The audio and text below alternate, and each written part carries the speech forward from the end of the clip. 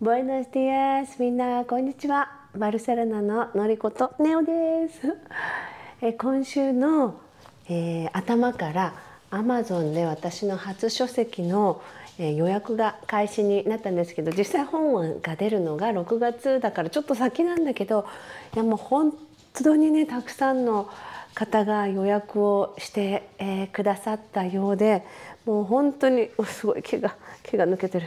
本当にありがとうございました。いやもうびっくりしちゃった。なんか一瞬だったんだけどアマゾンのねなんかこう人気度ランキングで1位も獲得してていえと思って。本当に本当に皆さんありがとうございまして皆さんコメントでねあの自分用だけじゃなくてお母様用とかお友達用とか、えー、ご兄弟用とかにも予約しましたって言ってくださった方がたくさんいらしていや本当にどなたでもあの運動が苦手な人も運動をやってきた人もできるようなというかそのみんなに大事な内容を、えー、詰めた。まあ、本当に一生懸命頑張って作った本なので皆さんのお手元に届いたら本当に 嬉しいなと思って、えー、ちょっと今日はお礼の動画 撮ってます。そう。だからこう本を作るっていうのもこうやってできるんだなと思って本当に一人の力ではできないたくさんの人があの手伝ってくれて編集の方もそうだし、えー、もうみんなでこうオンラインのサインを見てる人くれてる人とか、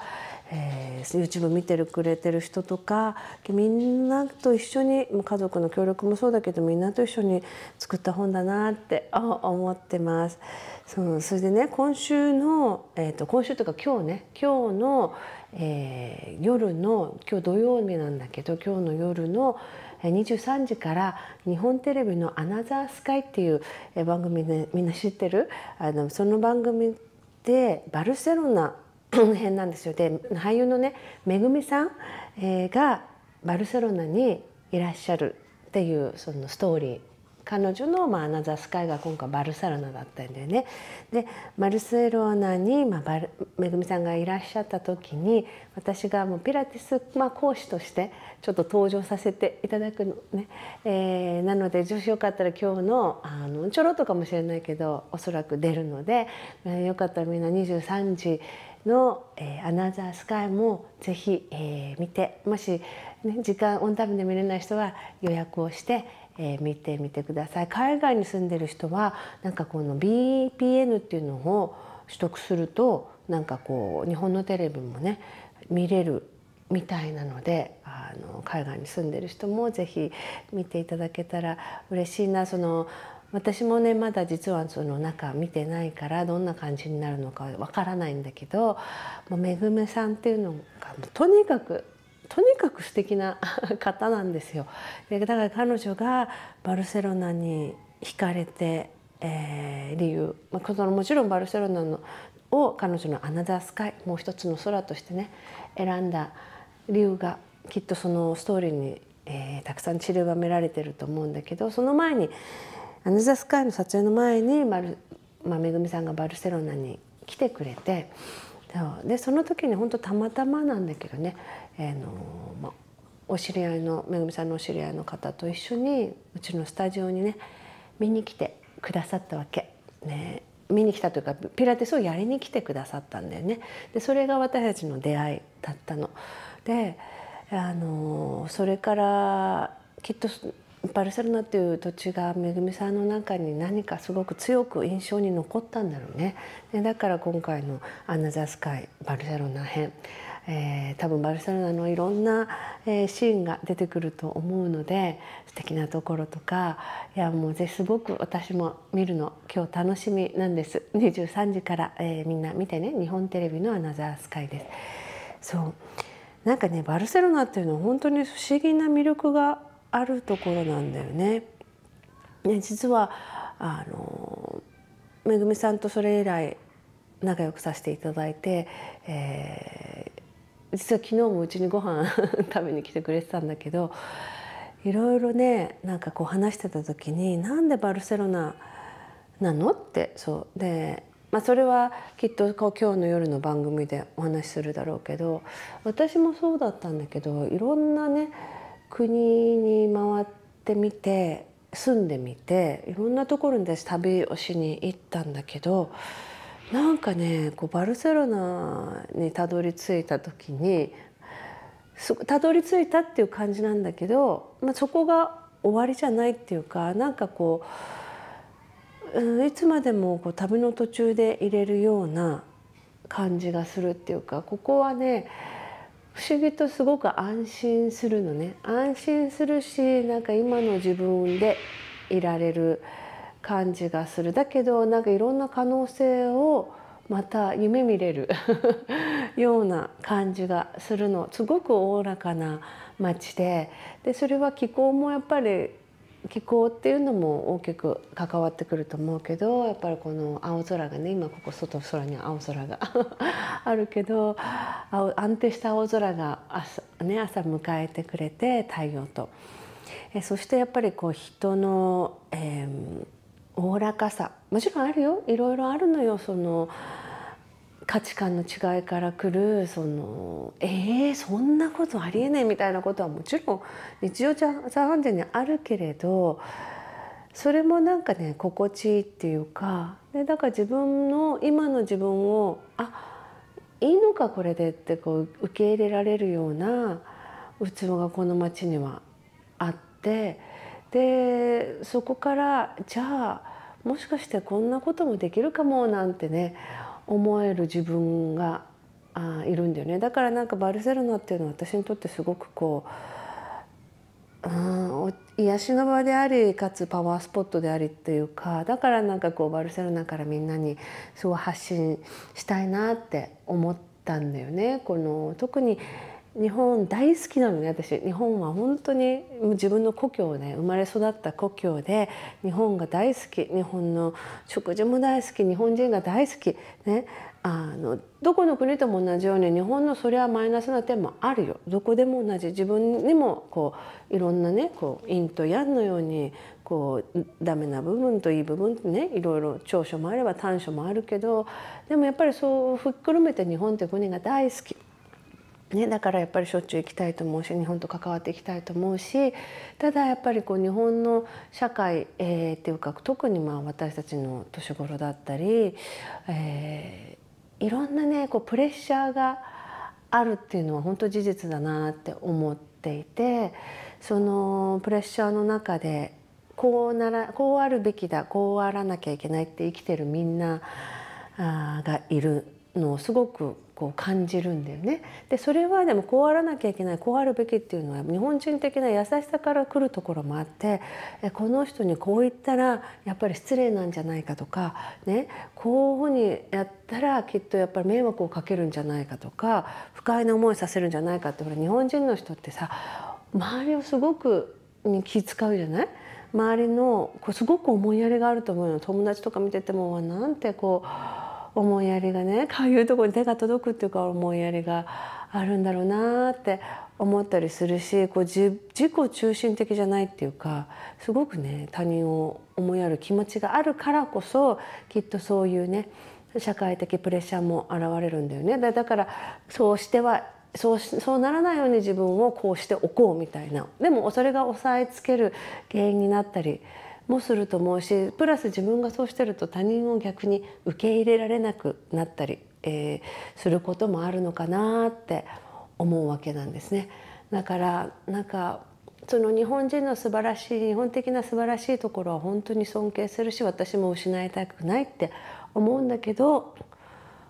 もう少しあのなんかな自分を今の自分を受け入れるとかこういう自分でもいいんじゃないとかあとはねそれ他の人に対してもあのそれもいいんじゃない？それもありでしょっていうねなんかのがもう少しあったらみんな楽になるんじゃないかなと思って、ね、私がまあやってるピラティスっていうのはもちろんピラティスを長年やってきて最初に学んだしっかりしたピラティスのベースっていうのを、まあ、忠実にやってきたんだけど人それぞれさ体本当に違うしバックグラウンド日常生活だったりとか生まれ育った環境だったりとかお仕事趣味でやってることだったりとかあの、まあ、国によって体格が違ったり、まあ、骨の質が違ったりいやもう本当に教科書通りじゃいかないなっていうことがほとんどね実際の、現場でやってきた時にあこのセオリー通りじゃ全然あの助けられないっていう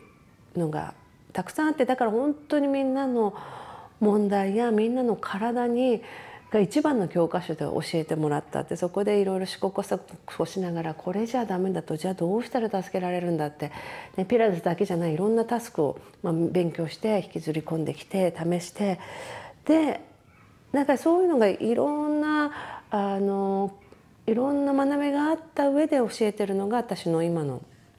ピラティスのスタイルだなってあとピラティスとかあとヤムナのスタイルだなって思っているのね。だけだからそれが絶対に正しいとは思っていないしみんなそれぞれの例えばインストラクターさん先生もみんなそれぞれのスタイルがあると思うの。これは絶対抑えるべきっていうそのあのもちろんピラティスのあの基礎、ね、基本っていうのはは変えられないけれどいろんな方にこうフレキシブルに派生していっていいんじゃないかなって思っているんだよね。で、えー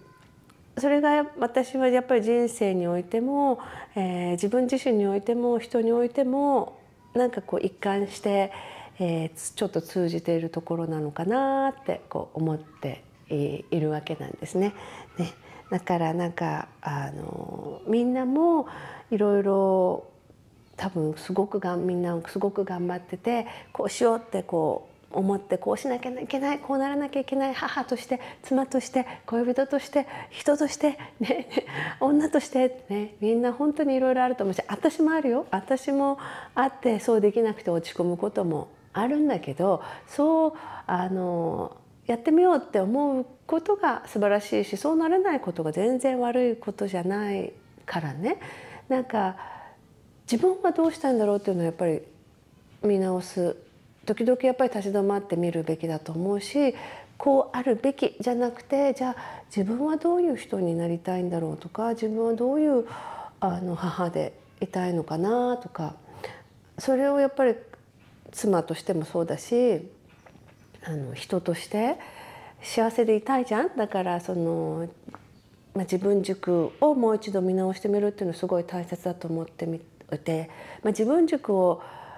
もう一回見つけ直すっていうのにすごくこういいツールとして私は体を動かすこと体の軸が通るとその自分の軸が見えてきたりもするの不思議とね。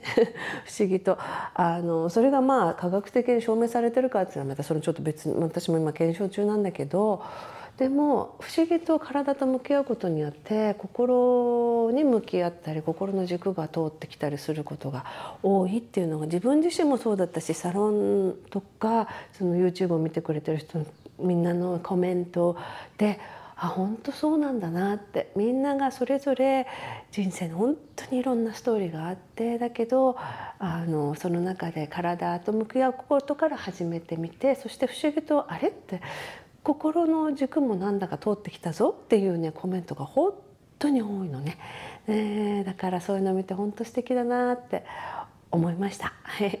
えー、なので、えーとまあ、そんなような、えー、ことも、えー、新しい本の中で、えー、みんなに伝わればいいなと思って、えー、書いています。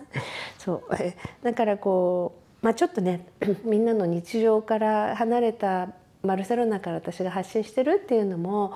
えー、そういうところからねそういうのもありかみたいな感じでみんなのちょっとホッとするようなえー、ちょっと日常の中にねくるみ込んでもらえるといいななんて思っています。本当に私も至らぬところばっかりで、えー、ドジも連発でよくサロンのみんなに笑われたりあの してるしてねみんな本当温かく見守ってくれて、えー、本当にね頼んのみんなみんなとは楽しく、えー、やらせていただいてます、えー、YouTube の、うん、コメントも本当みんな温かくて本当にありがとうございました。えーと、本もね予約も今、えー、受付中ですのでもしよかったら是非 Amazon の予約の詳細欄を貼ってあるので、えーと、このコメントのコメント内の動画の詳細欄のところに貼ってあるので、えー、覗こ覗きに行ってみてください。そして今日の、えー、夜、えー、23時アナザースカイぜひバルセロナみんなバルセロナめぐみさんのバルセロナの旅、えー、見に行ってみてください。私も、えー、見たいと思います。それでは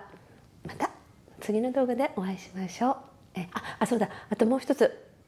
大事なこと、えーと、今バルセロナでめぐみさんが来てくれた時にやったビルあのクラスっていうのがリフォーマーを、まあ、基本使ったクラスだったんだけどリフォーマーってピラティスの機械ね。でもそれをお家でもみんなリフォームなしでもできるからそれと同じような内容のクラスをちょっと凝縮して、えー、再現してマットの上でやったものを、えー、アナザースカイが、えー、出た後かな、えー、明日日曜日かな、えーと、かなんかに出す予定です。でで YouTube のメインチャンネルの方でなのでぜひねそれもみんなやってみてください。ということで、えー、またバルセロナから愛を込めて。さあ足はぴったりくっつけるのではなく膝と膝の間に拳1個分のスペースを空けておきます。仰向けに寝転がったら背中をぴったりつけてそして膝の後ろの角度はだいたい90度よりも少ない